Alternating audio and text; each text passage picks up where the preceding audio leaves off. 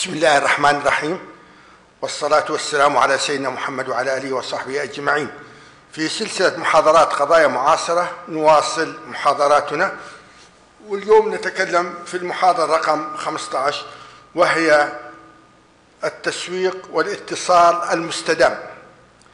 يشهد الاتجاه نحو البيئة الطبيعية والتنمية المستدامة تطور كبير في العديد من المؤسسات الصناعية والتجارية. التوجه الأخضر هو مصطلح عصري والتنمية المستدامة هي أكثر في ذلك. المزيد من الشركات تتمركز على شكل هياكل مسؤولة وتسلط الضوء في مجال الاتصالات المؤسسية أو الخاصة بالمنتجات عن تنمية عن التنمية المستدامة. بالتوازن بالتوازي مع العديد من التسميات والمواصفات التي كثرت لتحدد وتنظم المفاهيم ولتعبر عن معاني واسعة وشاملة تستخدم من قبل العديد من الأشخاص والشركات دون أن تكون بالضرورة تحت السيطرة. فالتنمية المستدامة والمسؤولية الاجتماعية للشركات والشركة الخضراء مواطنة الشركات كل هذه من المفاهيم والمصطلحات التي أصبحت الآن معروفة. بعض الشركات اتجهت نحو تنمية تنمية مستدامة حقيقية بينما البعض الآخر التنمية المستدامة ليست سوى محور ترويجي أو وسيلة بيع بسيطة لكن في مجتمع فيه وعي ومطالب المستهلكين في تزايد مستمر لم يعد من الممكن للشركات ذات الرم در الرماد في العيون بالحديث أو التباهي الغير ملموس. واقعيا بتبني مبادئ التنمية المستدامة. التنمية المستدامة ليست موضة فقط بل ضرورة حتمية وفي وفي تقدم. اولا الزبائن يطالبونها بالتزايد يطالبونها بالتزايد. ولكن أيضا ليس لنا خيار آخر. إذا كنا نريد استمرار الحياة على هذا الكوكب لذلك لا يمكن للمؤسسة إلا أن تنخرط في هذا السياق في التفكير في رؤيتها وثقافتها وأساليب عملها. ثانيا المؤسسة مضطرة إلى إدماج التنمية المستدامة في نظم إدارتها. ومن ثم كي تحافظ على تناسقها ومصداقيتها وتمايزها. وجب عليها ترجمة وعكس التزاماتها في سياساتها التسويقية والاتصالية. ولكن كيف للمؤسسة أن تنفذ التنمية المستدامة في ميادين تبدو متناقضة مع المبادئ والقواعد المتعلقة بهذا المفهوم؟ طبعا من خلال يعني هاي الأهم شيء اللي رايحين نوصله كمعلومة للطلاب. أهداف التعليمية مفهوم وتعريف التنمية المستدامة. المصطلحات ذات الصلة. الأدوار الاجتماعية البيئية والاقتصادية للمؤسسه قيمة الأخلاق التسويقية وأثارها في خلق القيمة للشركة وللعلامة. مدى قدرة المؤسسة على استخدام مفهوم مبادئ ومبادئ التنمية المستدامة لدعم برامجها الاتصالية والتسويقية.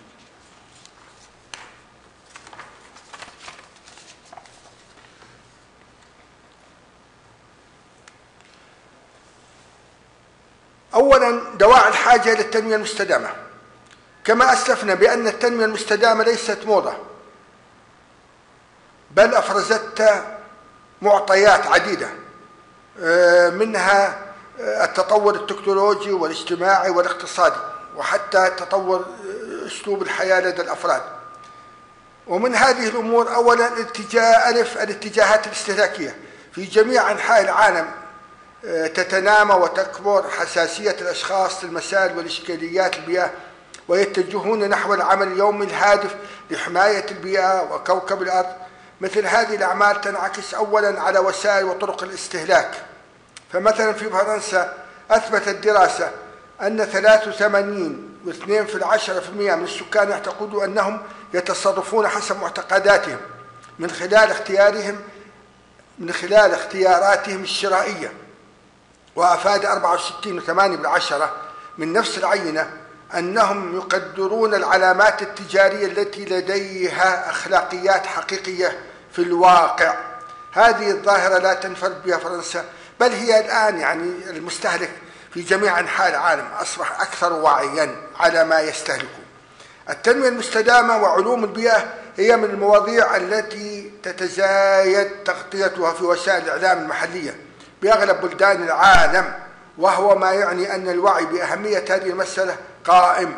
وقد شمل السلطات الحكومية التي ما فتئت تدرج كل هذه المواضيع في جدول أعمالها السياسية وخاصة العنصر البيئي ووضع استراتيجية جديدة للطاقة.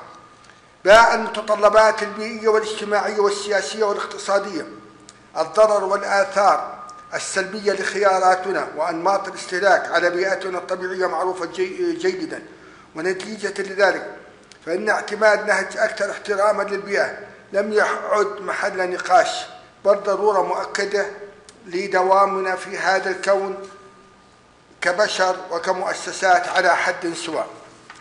المتطلبات الأيكولوجية يتزايد الإحساس والشعور بتأثير ووزن الأنشطة البشرية على الأرض أكثر فأكثر.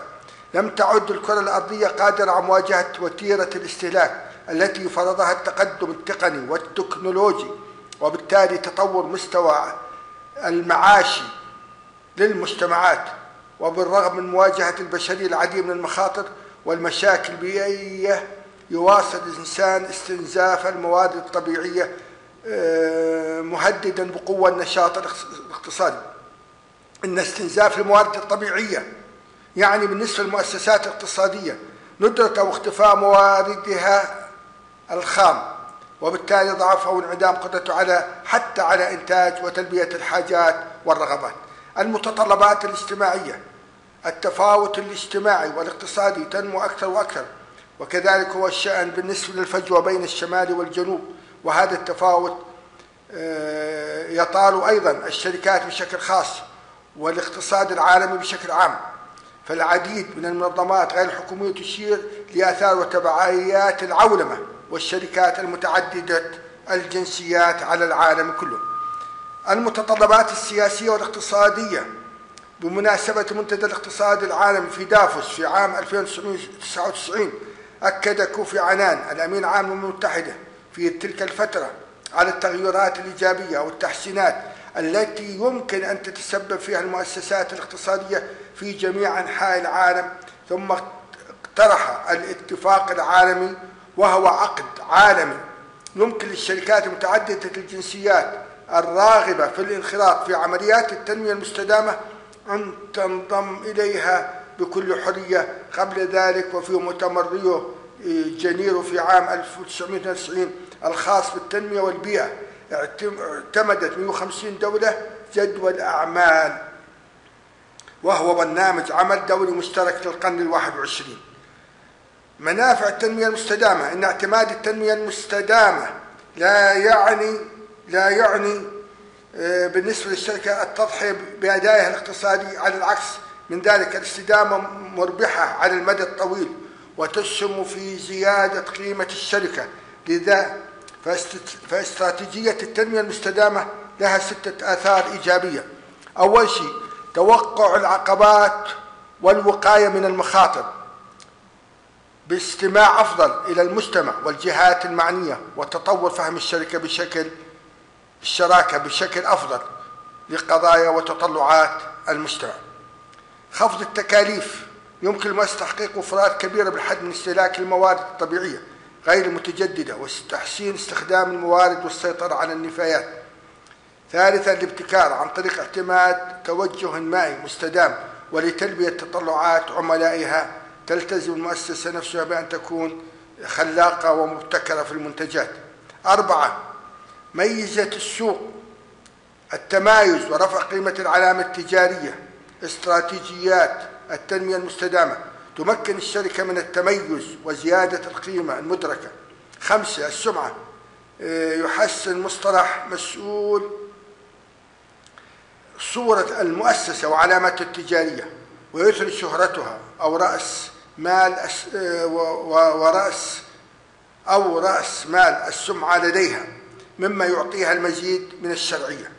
الأداء الاقتصادي والمالي الإنتاج المسؤول يعزز إنتاجية المؤسسة بزيادة الكفاءة وبالتالي تحسين الأداء.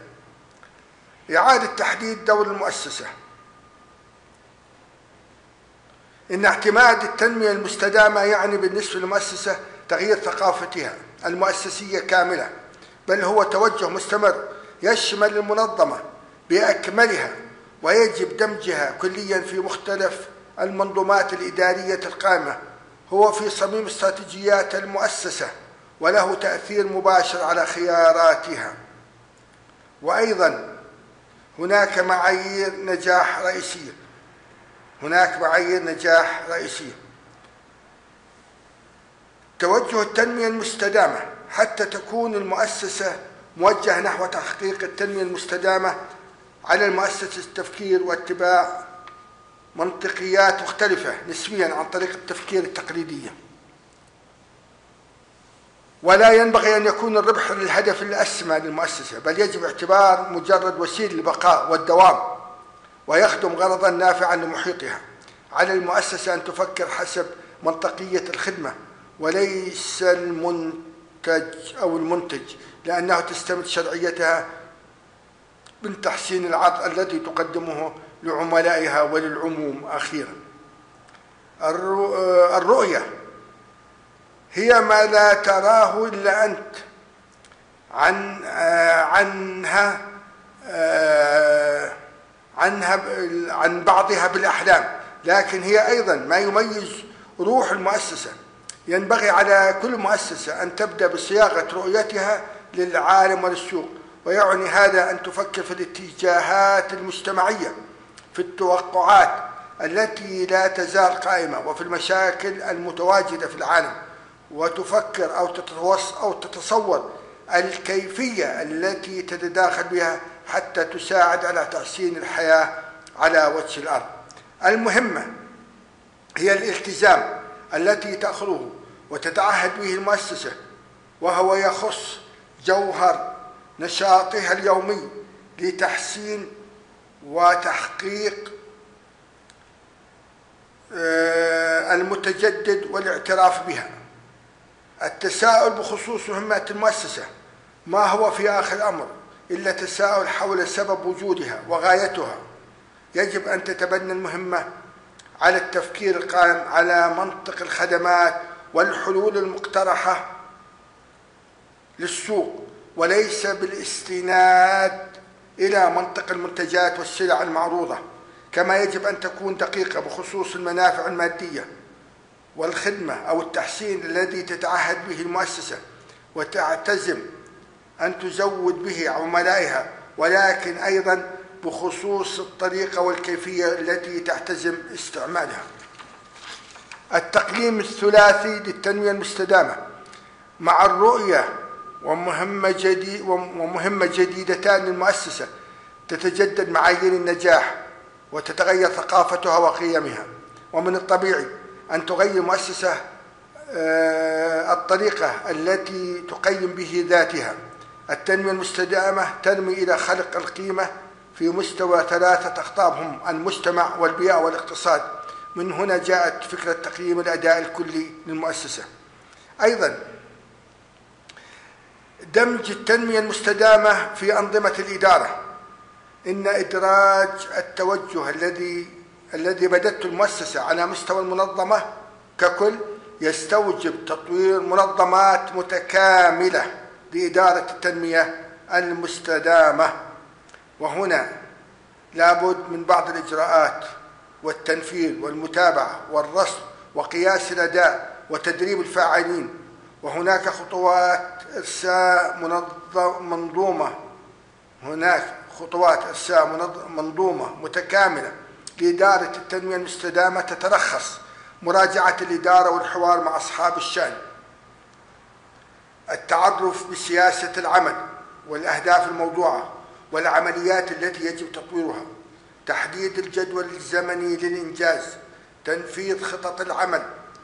التواصل بخصوص الالتزامات والأهداف والعمليات والنتائج ثم تدريب الموظفين مراقبة تنفيذ الالتزامات وتحقيق الأهداف ومتابعة هذه الأمور بشكل فعال ومتابعة الإنجازات وتحديد الإجراءات التصحيحية إذا لزم الأمر. تصميم المنتجات والعروض المسؤولة والتصميم الصديق للبيئة المؤسسة الراغبة في تطوير منتجاتها مسؤولة آه اتجاه البيئة التي آه تحيط بها. ولذلك آه هذا التحدي يتمثل في أنه يجب عليها الاستمرار في إنتاج سلع من نفس النوعية أو من نوعية أعلى. باستهلاك موارد أقل وهو ما يمثل هدف من التصميم الأيكولوجي وتتمثل آثار الشركة على محيطها في ثلاثة أنواع الاقتصاد والبيئة والمجتمع. وعلى اعتبار أن المنتج هو نافذة المؤسسة على محيطها فالهدف من التصميم الأيكولوجي هو الحد من الآثار الاقتصادية والبيئة الاجتماعية في جميع مستوياتها ودورها في حياة المنتج وانطلاق من التزود بالمواد الخام إلى التدمير النهائي للمنتج. وللدخول في عملية التصميم الأيكولوجي المستدام يجب اتباع المنهجية التالية اختيار منتجات مستهدفة. في بعض الأحيان يكون مناسب البدء بمنتج واحد رائد تركز كل الجهود عليه.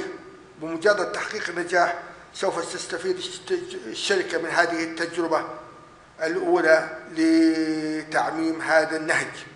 طرح السؤال المتعلق بسبب وجود المنتج والفائدة منه لأن المنتج غير مجدي أو مضر بالبيئة والناس لا يستحق أن يستمر إنتاجه.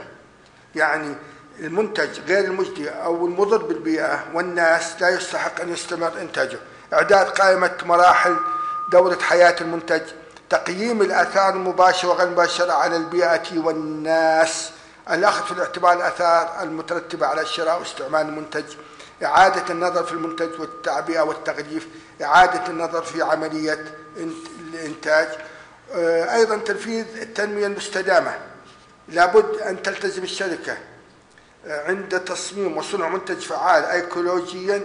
يجب أن تدمج التنمية المستدامة في جميع وظائف المؤسسة ناهيك عن التسويق والاتصالات التي تتوجه مباشرة إلى التي تتوجه مباشرة لعامة الناس ولكن كيفية كيف يمكن المؤسسة أن تترجم التزامها من خلال سياستها التسويقية والاتصالية؟